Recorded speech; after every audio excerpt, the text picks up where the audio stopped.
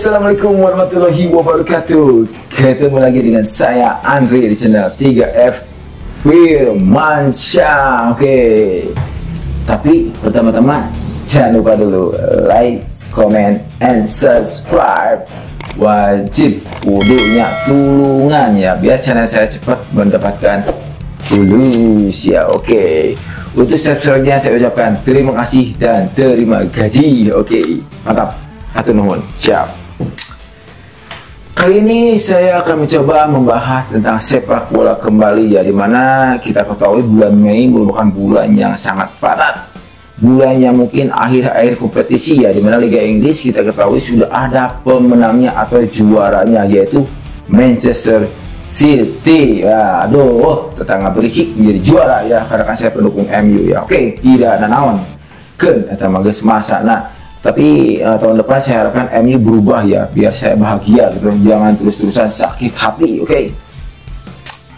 kali ini kita akan membahas mungkin pertandingan dari uh, Liga Indonesia di mana Liga Indonesia akan menuju final Championship Serie A. Dan mungkin sekali ini kita akan membahas bagaimana peraturan permainan final championship seri akan dilaksanakan kapan dan bagaimana uh, proses pertandingannya gitu kan dan nanti juga saya akan bahas mungkin sejarah liga yang ada di Indonesia ya. Dan nanti juga saya akan bahas mungkin uh, hasil pertemuan antara Persib dengan Madura ya. Di mana kan kita ketahui sekarang yang masuk final adalah Persib dan Madura United. Jadi kita akan bahas nanti itu ya. Jadi bagaimana proses hasil pertandingan mereka mungkin ke belakang ya. Siapa yang lebih unggul gitu kan. Jadi siapa yang lebih unggul dan siapa yang lebih diunggulkan nanti untuk di final ya. Nanti juga bisa kebahas itu ya. Oke. okay. Pertama-tama mungkin saya akan bahas dulu jadwal pertandingan final championship seri Liga Indonesia dilaksanakan di mana oke. Jadi sistem yang digunakan untuk final championship seri kali ini di Liga Indonesia ya di mana akan ada home away ya. Jadi seperti semifinal kayak kemarin sama ya home away ya. Jadi final kali ini akan dilaksanakan di kandang Persib dan akan dilaksanakan di kandang Madura United ya. Tapi yang saya sayangkan sistem kandang tandang ini mungkin bisa positif bisa negatif ya. Karena kan yang namanya final kan kayak saya rasa nih saya pribadi berpendapat lebih baik satu kali pertandingan saja jadi uh, gergetnya dapat gitu kan jadi yang saya rasakan kalau final dua kali seperti ini jadi pas kita pertama kali menang ya masih tetap deg-degan gitu kan meskipun Persib di leg pertama menang tetap kan ada leg kedua ya itu masih belum tenang gitu kan tapi coba kalau kita nanya namanya final ya di mana bertemu sekali langsung juara itu hiporianya luar biasa dapatnya ya gitu kan. Di saat pertandingan selesai ya kalau menang bahagia kalau kalah muyung gitu kan. Itulah yang dirasakan para pecinta sepak bola apabila tim kesayangannya menang dan kalah oke. Okay. jadi sistem pertandingan kali ini home away di mana yang pertama itu justru saya rasa rugi ya untuk pendukung Persib saya ini. Jadi uh, leg pertama dilakukan di kandang Persib Bandung ya pada tanggal 26 Mei. Catat nih 26 Mei hari Minggu besok Persib melawan Madura di kandang Bandung yaitu Jalak Harupa tentu saja.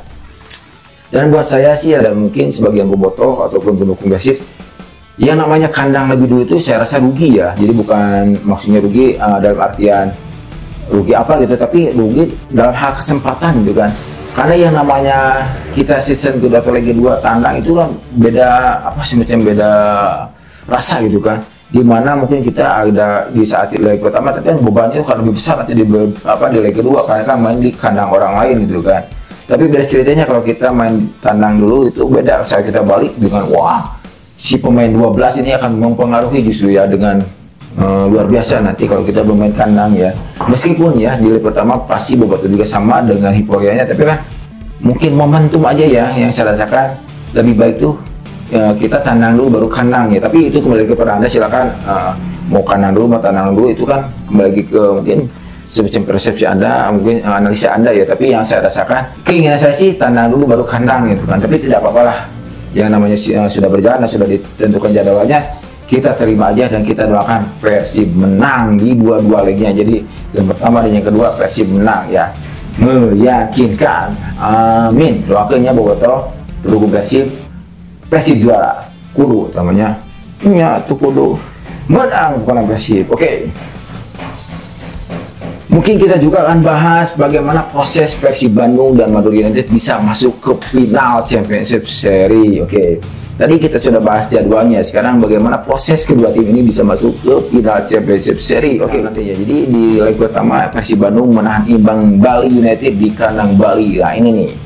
Lalu di season kedua leg kedua itu Persib memenangkan dengan telak 3-0 Bali United ya di kandang Persib Bandung tentunya. Dan itu yang membawa Persib Bandung uh, duluan ya menuju ke final menunggu hasil dari Madura dan Borneo. Sekarang kita bahas Madura United bagaimana bisa masuk ke final Championship Series. Oke. Okay. Madura United masuk ke final itu setelah mengalahkan Borneo FC ya sang juara regular seri gitu kan. Dan mungkin di regular seri yang Borneo unggul ya jagonya tapi pas masuk Championship Series aduh kalah sama tim yang mungkin tidak ada nama besar ya. Bukan hanya uh, emang betul ya Madura tidak ada nama besar tapi kolektivitas dan mungkin semangat ya dari juang mereka luar biasa yang, mem yang membuat mungkin Madura bisa memenangkan pertandingan ya oke. Okay. jadi pada leg pertama Madura bisa mengalahkan justru jadi kandang Madura 1-0 ya tapi 1-0 juga merupakan deg-degan ya. Kalau mainnya kan di kandang dulu tadi sudah saya bahas ya.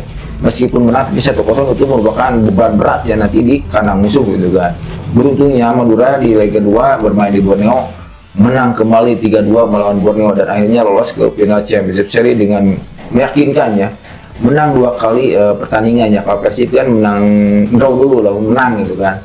Makanya Persib Bandung nanti melawan Madura United hati-hati ya dengan kolektivitas dan semangat juang mereka ya.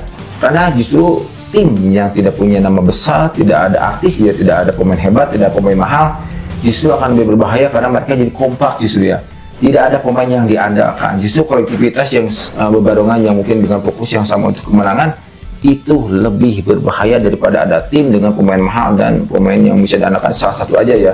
Tapi dengan kekompakan akan justru lebih berbahaya ya. Jadi saya mungkin uh, memberi saran buat Persib Bandung hati-hati dengan kekompakan mereka itu kan.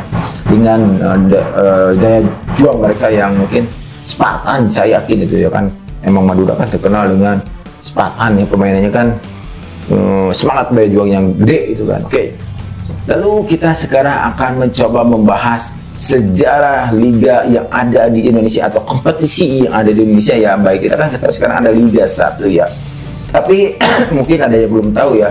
Nama-nama liga yang ada di Indonesia sebelum Liga 1 bergulir ya mungkin dari ke belakang jauh gitu kan. Sekarang kita akan bahas ya. Dan nanti juga kita akan bahas pernah menjadi juara berapa kali selama liga atau kompetisi bergulir di Indonesia? Ya baik Persib maupun Madura United. Nanti kita kupas. Pertama-tama kita bahas dulu nama-nama kompetisi.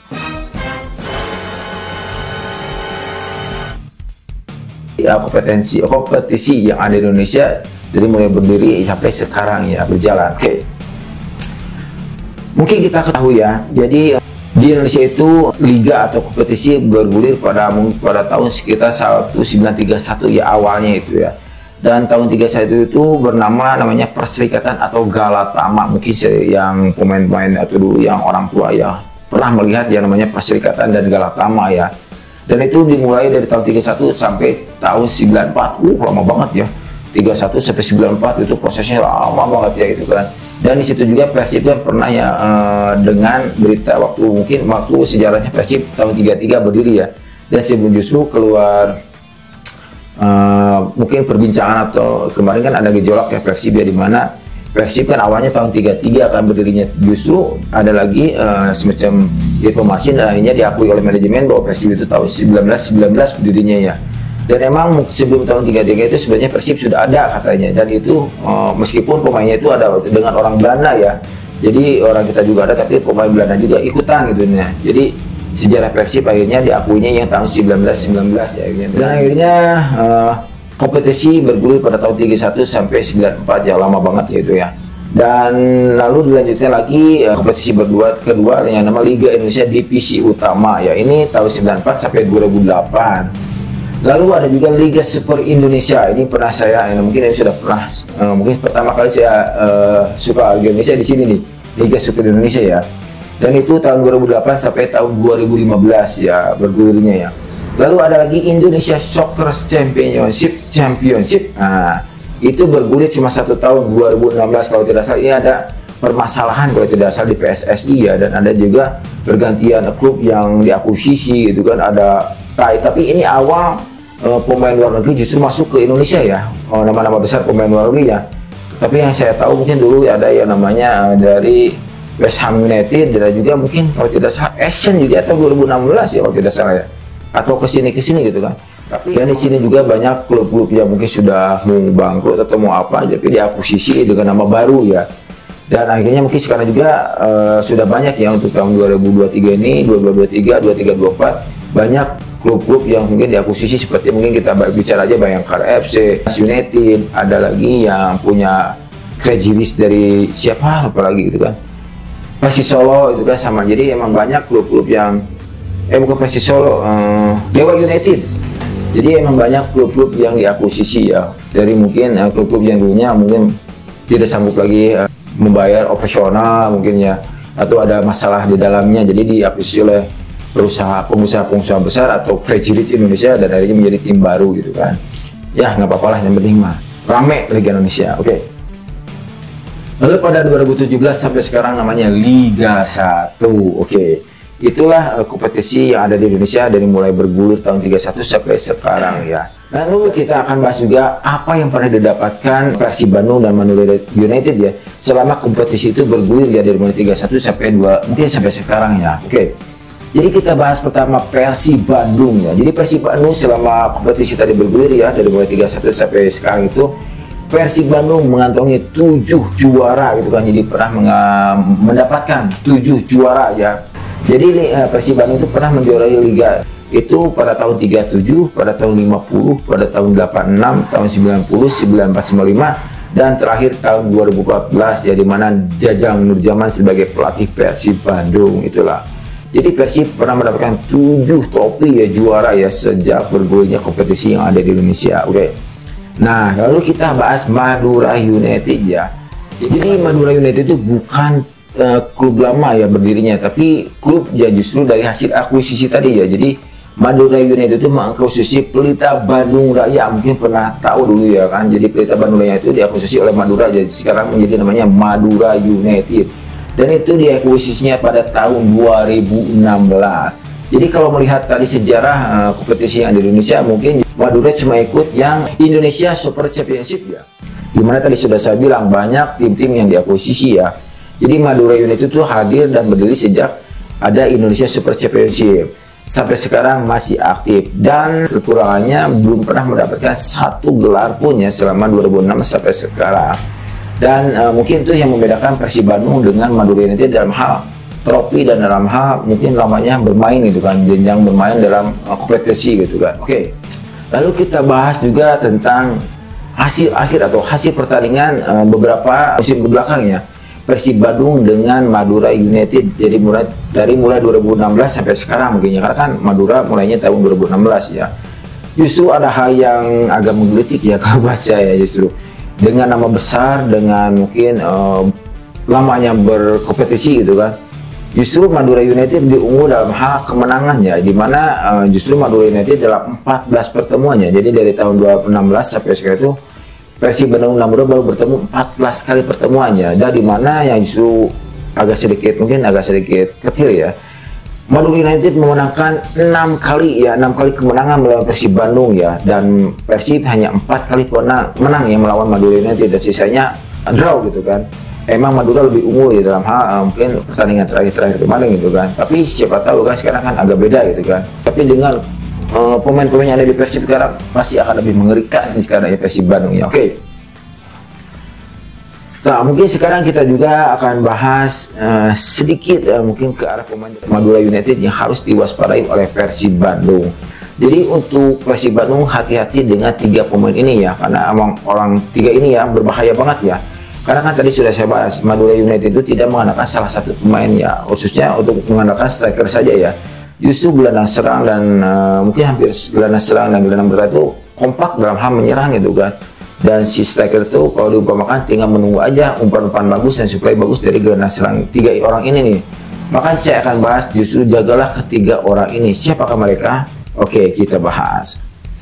Pertama mungkin kita bilang Malik Rasidi ya Risaldi ya Malik Risaldi Malik Rizaldi ini pemain lokal yang berbahaya ya dan dia di pertandingan terakhir mencetak dua gol ya. Dan mungkin kenapa Malik Rizaldi menjadi berbahaya? Karena dia adalah winger cepat dan mungkin dia punya uh, semacam ya killing mesin gitu kan. Jadi dia mempunyai karakter ingin uh, mencetak gol gitu kan. Meskipun dia winger atau sayap gitu kan. Jadi dia menerapkan sepak bola modern sekarang. Jadi total football di mana serangan dan bertahan itu seimbang gitu kan. Kompensasinya dia akan capek dan lelah gitu kan stamina nya karena dia harus turun naik gitu kan. Seperti puca gitu kan. Tapi ini justru untuk sepak bola modern dengan uh, kolektivitas dengan kekompakan. Jadi tidak hanya dengan mengandalkan skill gitu kan. Justru kerjasama yang kompak justru tidak akan menguras stamina ya. Karena justru kekompakan kerjasama itu membuat musuh ketar ketir itu kan. Justru stamina juga tidak akan terus lebih banyak karena kan cuma sebentar memegang bola gitu kan. Tapi untuk uh, Malik Saldi emang terkenal dia punya winger dengan kecepatan cepat juga dan dia punya uh, jiwa membunuh dalam atau mungkin tapi dalam artian yang lain ya. Dia itu membunuh hati itu mencetak gol ya dan dia emang juga bisa bertahan cepat gitu. Kan saat dia menyerang gagal dia juga cepat langsung turunnya oke itu yang pertama Malik Rizali. Hati-hati. Lalu yang kedua ada Hugo Gomez ya. Meskipun dia tidak mencetak gol atau dia tidak di musim kemarin ya. Tapi dia adalah penyuplai atau um, asis ya. Asis kepada para striker di depannya.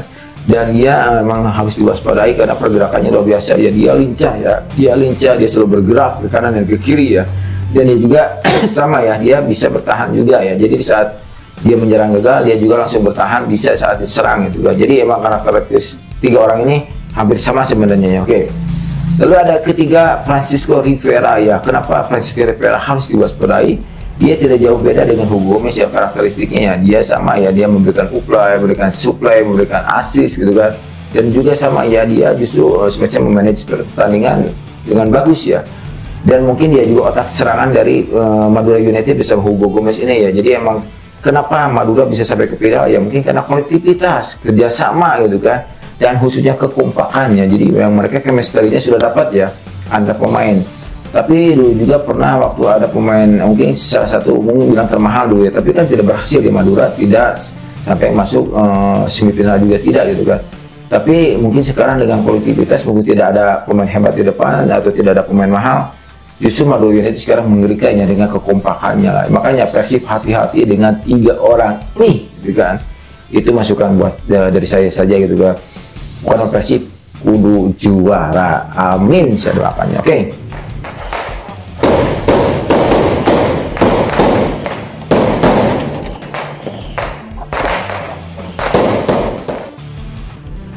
Jadi mungkin itu saja yang dapat saya bahas tentang persiapan final Championship Seri Liga Indonesia dan saya harapkan Persib Bandung dapat memenangkan pertandingan. Amin bukan namanya. Oke. Okay. Dan saya harapkan uh, pertandingan nanti berjalan dengan lancar, tidak ada masalah, tidak ada keributan, dan tidak ada chaos gitu kan. Karena kan cintailah Liga Indonesia ya.